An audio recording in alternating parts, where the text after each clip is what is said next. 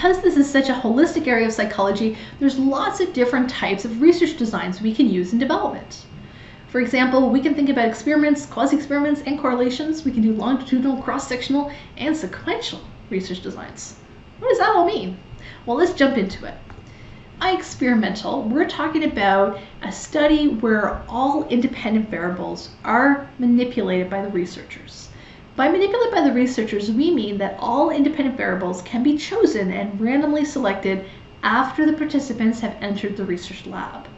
So after you get your participants there, regardless of who your participants are, you can randomly assign them to things. And if you're randomly assigning them to things, and those things are, are all your factors that you're interested in, then it's an experiment.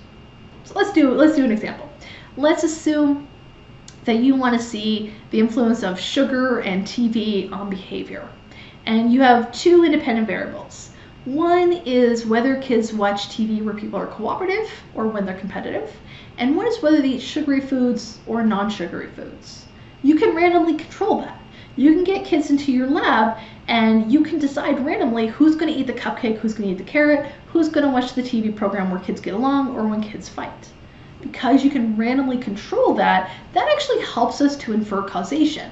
We can make a clearer distinction. If now we're watching the kids how they behave in the lab after they eat the sugar and watch TV, then we can make a more causal inference. However, this is less generalizable because it's less close to mimicking reality.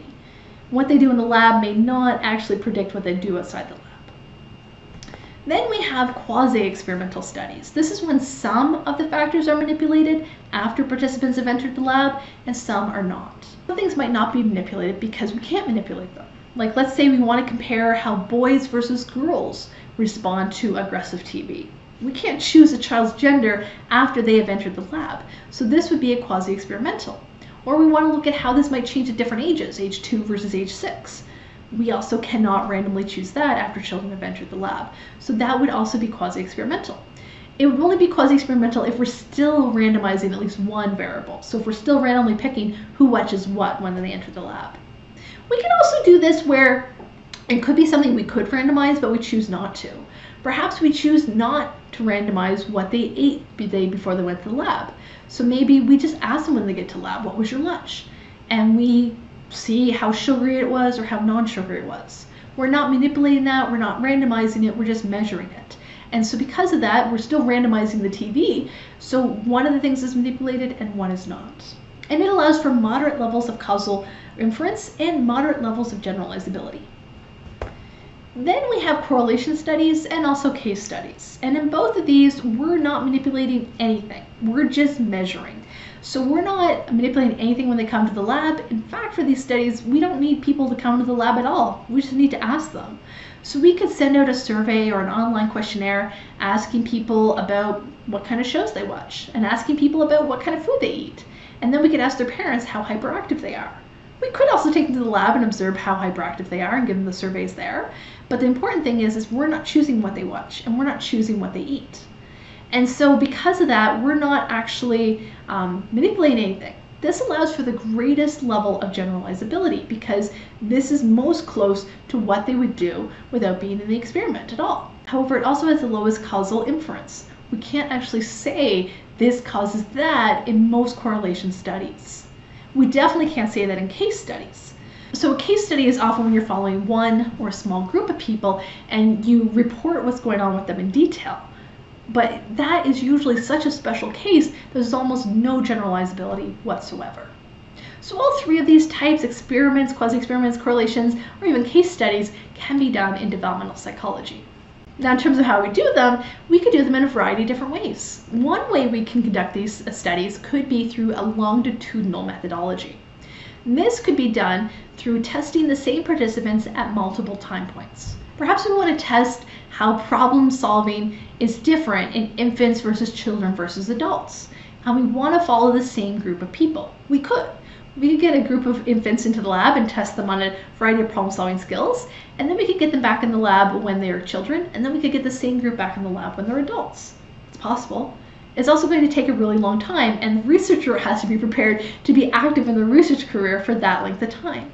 This is very expensive, and very time onerous, but it can allow us to see that individual development if we get the same, let's say 150 people over time, and it can allow us to infer causation. We can also do a shorter term longitudinal study where instead of over years, we could look over months, or we could look from grade one to grade two to grade three.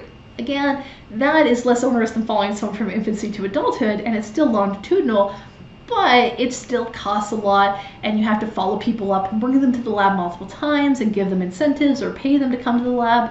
And some people will invariably drop out of the study and by the second or third time you're going to have a much smaller sample.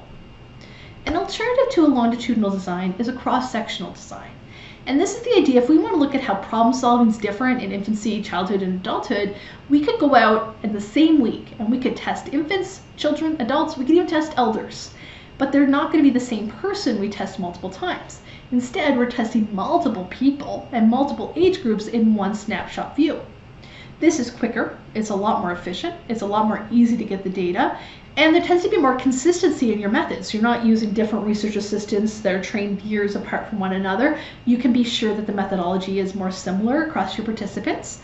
However, it's harder for you to infer causation with this and you can't see the individual development. It's possible that the group of kids you found were just qualitatively different than the group of adults you found. And one of the things that might make them qualitatively different is what's known as a cohort effect.